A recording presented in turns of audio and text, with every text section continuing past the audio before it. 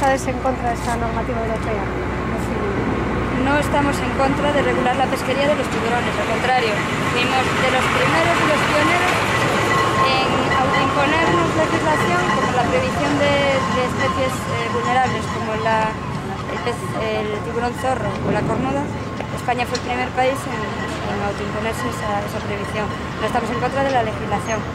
Eh, estamos en contra de la posición de la Comisión y sobre todo de los ecologistas de prohibir el cercenamiento de la aleta a bordo.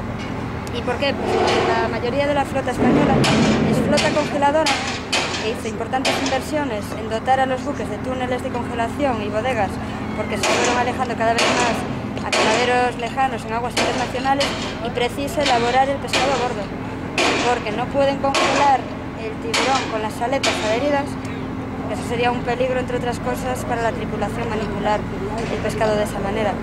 Eh, luego, eh, por un tema de calidad e higiénico-sanitario, es preciso cortar las aletas a bordo, eviscerar el pescado, descabezarlo, congelar el tronco separado de las aletas en el túnel de congelación a una temperatura de menos 35 grados.